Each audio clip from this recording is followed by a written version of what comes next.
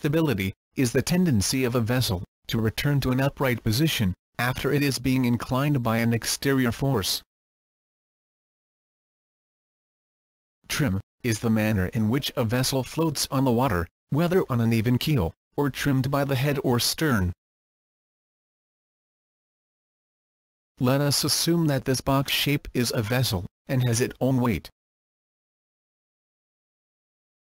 Considering that this vessel is totally empty.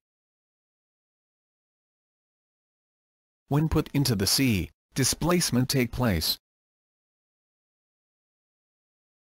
Displacement means, the weight of the water, displaced by the vessel, is equal to the weight of the vessel.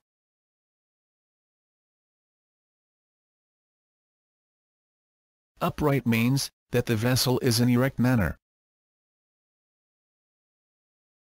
Gravity, is an existing force, that cause an object to fall.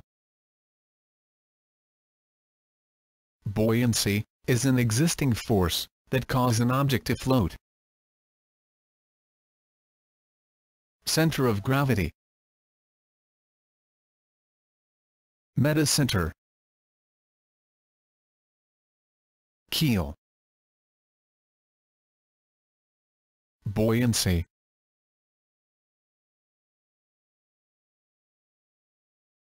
Center of gravity, is the point at which, all the vertically downward forces of weight, are considered to be concentrated.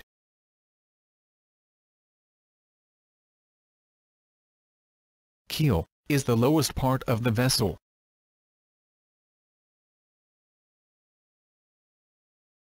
Metacenter, is the highest point, to which the center of gravity may rise, and still permit the vessel to have positive stability. Kg, is the height of the center of gravity above the keel. gm, is the distance from the center of gravity to the metacenter.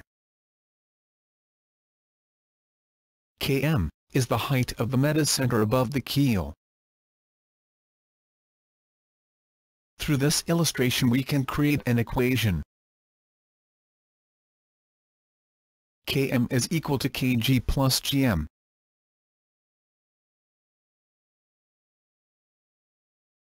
Kg is equal to Km subtracted by Gm.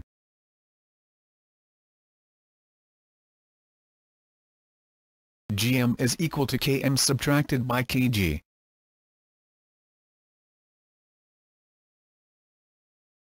Center of buoyancy, is the point at which, all the vertically upward forces of buoyancy, are considered to be concentrated.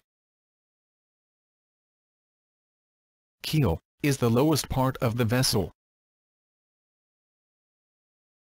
Metacenter, is the highest point, to which the center of gravity may rise, and still permit the vessel to have positive stability.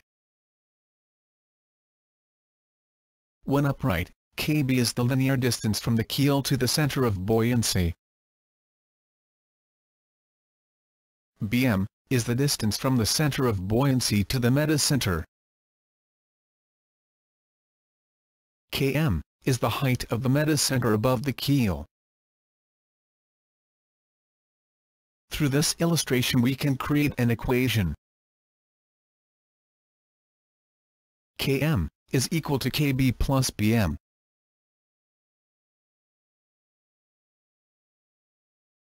kb, is equal to km subtracted by bm.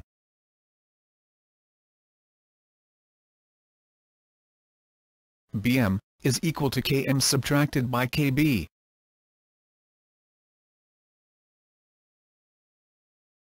Listing means that the vessel is inclined, due to the greater weight upon one side. Through this triangle GZM, we can create an equation. By using the sine formula, sine theta is equal to gz divided by gm. gz is equal to gm multiplied by sine theta. Rolling is the sidewise motion of a vessel. Beam is the greatest breadth of a vessel.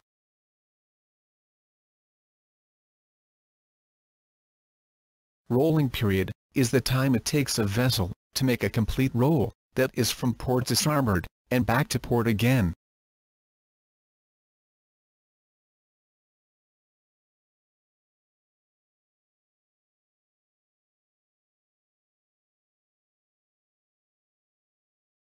rolling period or T, is equal to 0.44 multiplied by the beam, and the result, is divided by the square root of gm. Note use 0.444 feet, and 0.497 for meters. Thank you for watching.